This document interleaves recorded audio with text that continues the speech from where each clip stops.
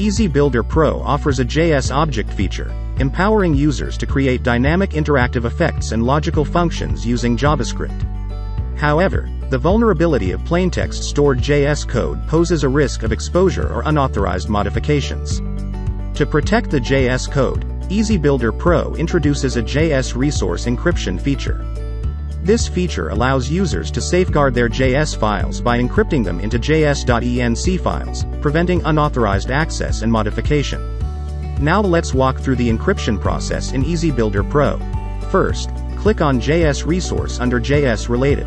Right-click on the target JS file and select the Encrypt option or simply click the Encrypt button on the right side. Enter a password and confirm it.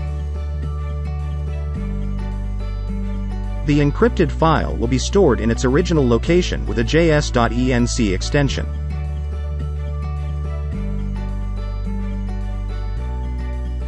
The encrypted js.enc files can be seamlessly executed in EasyBuilder Pro but cannot be directly opened or modified using a text editor.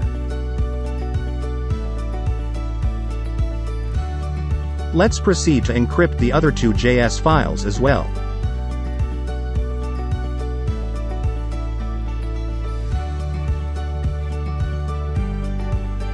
Once all the JS files are encrypted, you have the option to delete the original JS files.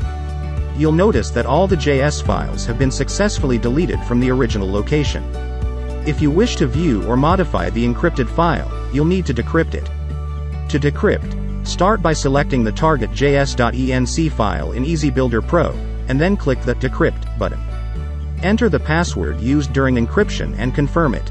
If the password is incorrect, the decryption process will not proceed. The decrypted file will be saved with a JS extension. Please note that the decrypted JS file can be viewed or modified in EasyBuilder Pro or other text editors. However, it is necessary to re-encrypt it after making modifications to ensure the security of the code. It's worth noting that the referencing method for the encrypted js.enc file in EasyBuilder Pro differs from that used for the unencrypted JS file. The unencrypted JS file can utilize the require syntax for referencing, for example, const chart equals require chart.js. Conversely, the encrypted js.enc file needs to be referenced using the await import syntax, for example, const chart equals await import chart js.enc.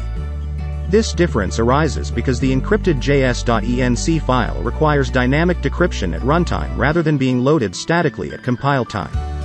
Therefore, an asynchronous approach is necessary for referencing. Now, let's run a simulation to observe the effects of referencing an encrypted file.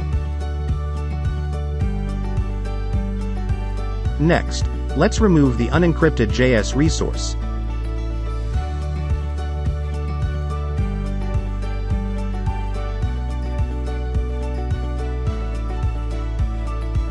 Even after removing the unencrypted files, the encrypted JS resource can still be referenced normally.